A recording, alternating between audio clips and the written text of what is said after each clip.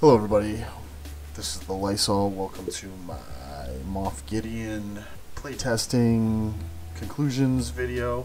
Uh, over the weekend, I did a lot of playtesting with Moff Gideon and the Imperial Troopers in the Galactic Challenge. It was actually a really good one for it. I was really only able to do a lot of damage to the uh, G12 tier of it but I feel like I'm pretty much using my troopers against G12 characters at this point anyway. Only the occasional relics, and that's if it's Night Sisters or something. Bounty Hunters, something that's really easy for the troopers to get in front of. Um, I basically decided that going forward in this next GAC, I'm going to do it one of four different ways. Uh, three I have three sets of two teams that are uh, pretty evenly split up troopers. Uh, and then I have another set of two teams that is basically everybody on one team, and then the second team is led by Gar Saxon, or you know, what have you. So, I uh, I managed to get my Moff Gideon up to gear 11 and four stars. I still have not convinced my wife to let me spend $100 on getting him up to 7 stars. So I guess that's probably not going to happen until he becomes free to play accessible, which is fine. Uh, I've found that he is viable, completely viable at 4 stars. He doesn't do a lot of damage, but as a support character, uh, he's amazing. Uh, his control of the situation is crazy good and I have him modded at an absolutely ludicrous amount of speed 293 so pretty much against anything he goes first. So um, I'm going to start with these uh, playtesting videos. This first one I use uh, Veers Starck Death Trooper Short Trooper and Range Trooper. This is probably my main two team split I'm going to be doing here. So I got this here. Uh, they did pretty well. Um, having to use Stormtrooper is kind of meh since my Stormtrooper is only 12,000. But I feel like this team could still take out Night Sisters.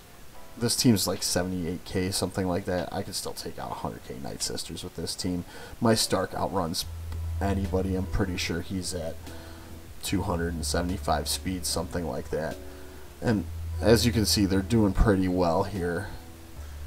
Uh, it's tough to get around taunts and everything, but this this team really is nothing all that special. And the and the burning and everything, but I these ended so quickly that all that special stuff really didn't mean didn't amount to much.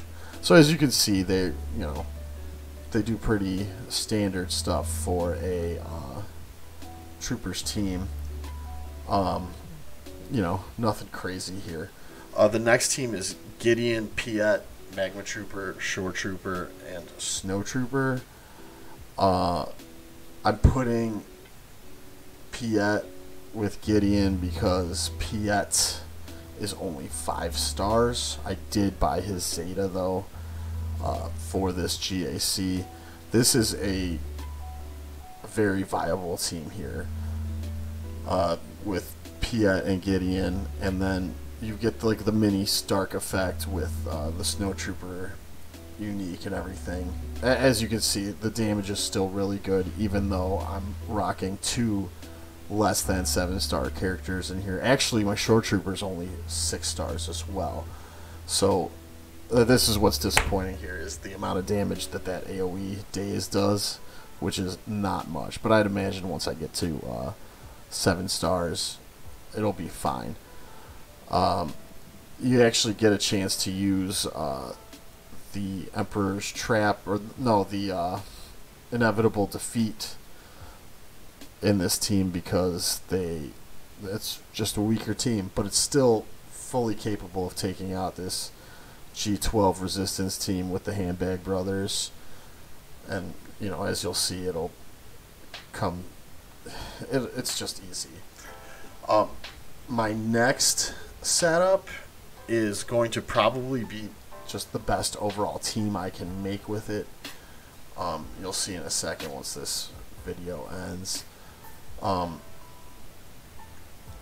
I uh, am running Veers, Gideon, Starck, Piet, and Range Trooper uh, with a Veers lead to get the most speed. So it'll get me 20 speed. That puts Gideon at over 300.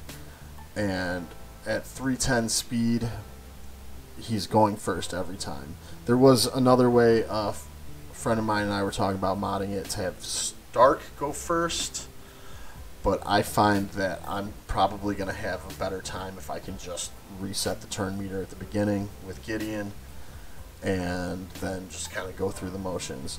So the the optimal there's two turn meter uh, or there's there's two turn orders that are optimal here. One is Starck or yeah, the the most optimal I think would be Starck Piet Gideon and then range and veers. But the one I'm going for is Gideon, Starck, Piet, then range, then veers. And with the the first way you're doing it, you're basically coming around and having all of your AoEs go off all at once, and then you get the buffs from range trooper and everything. I, I feel like either way, this is super powerful, and I'm going to be outrunning everybody. Next you're going to see this really crappy Gar Saxon team. I'm not even sure if I win this fight. I think I do. I, I've considered putting the Zeta on Gar Saxon just for this because it causes him to assist every time. But I, I think, honestly, I'm still able to beat this. It's just tough. Yeah, Gar Saxon's gone. no, I get smoked. So I, I, I probably use this as a cleanup team if I use the Gideon Starck Veers lineup. Uh, means I kind of wasted the Zeta on Gideon's lead, but I'll probably use them both ways. Uh, next is uh, Gideon, Snowtrooper, Range Trooper, Death Trooper, and Shore Trooper. Uh, this is my first alternative lineup. I don't like this one as much as the original lineup I had. But it works. There's nothing. I don't know. You don't have Piet in there, but you do have Range Trooper, and then you have the mini uh, Veers effect from Snow Trooper. It's really high damage compared to the other team I had with Gideon, but it's that's mainly a function of you know where I have my Imperial Troopers geared. Uh, as you can see, they're still able to take out any of this here. It's really not an issue.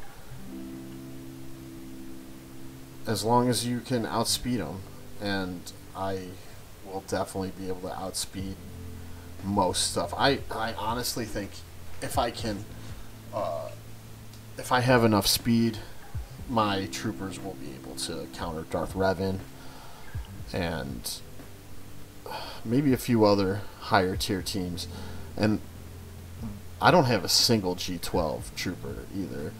Uh, I think my Veers is 11, and my Gideon is 11. Everybody else is 10, 9, 8, 7.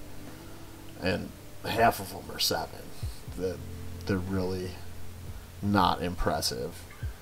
So then the obvious uh, team I have coming up here is, you know, the trio with the leftovers, uh, Stormtrooper and Magma Trooper. This team still gets out in front of them. I'm pretty sure does pretty well here. Yeah. One, basically, once you get one kill, the turn meter train goes, and then there's nothing stopping you. I did put the Omega on uh, Magma Trooper just for this GAC in case I have to use him. And just like that, it's done. 45 seconds against G12 Resistance with the Handbag Brothers. Uh, next one is uh, Veer Starck Piet Shore Trooper and Magma Trooper. Uh, it's basically it's the same lineup just with the different tank. I just wanted to see how it interacted differently. It's pretty much the same, uh, except Shore Trooper's better than Stormtrooper, at least for now. And I wanted to see how uh, Stormtrooper interacted with Gideon. As you can see, no problems whatsoever, even with my six star shore trooper and my gear eight magma trooper. That uh, I've never used Piet before, honestly, and that Zedon Piet is just insane. And then the last team is Gideon, Range, Death Trooper, Snow Trooper, and Storm Trooper.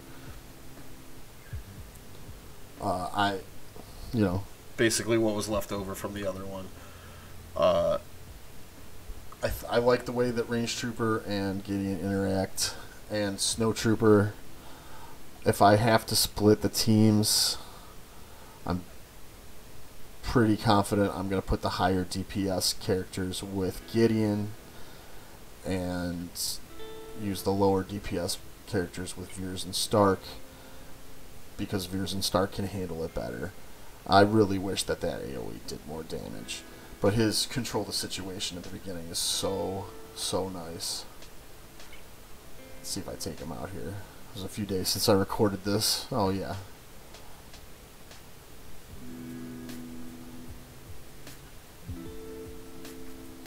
Alright.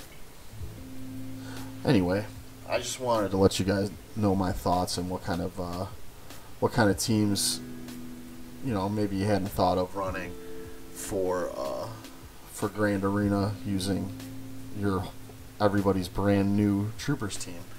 So uh, be sure to like and subscribe. Comment down below. Let me know. Maybe there's a team I hadn't thought of.